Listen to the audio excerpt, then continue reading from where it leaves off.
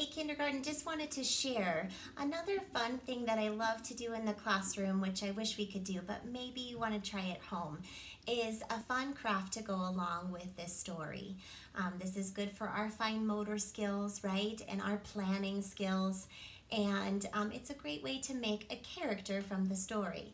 So um, I'm going to put in Seesaw a um, half of a butterfly.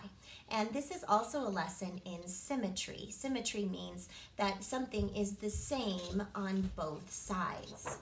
So we're going to make a butterfly and you are going to download in Seesaw this outline of the butterfly. You can print it out on your home printer on a white piece of paper or maybe mom or dad can draw you one if you want to do it on a big piece of paper like this. So you're going to take it and you're going to cut it out along these lines and we're going to fold it in half and you're going to paint just dots all over the wings to make it a beautiful, colorful butterfly. After you have your dots only on one side, just one side, this is how you make it symmetrical, the same on both sides. You are going to take your paper and you're going to fold it and just gently press on it.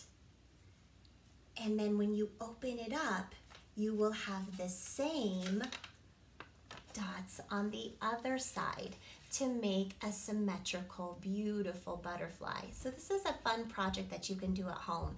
And then if you want to add a very hungry caterpillar face and, and some antennas if you want to, you can do that as well.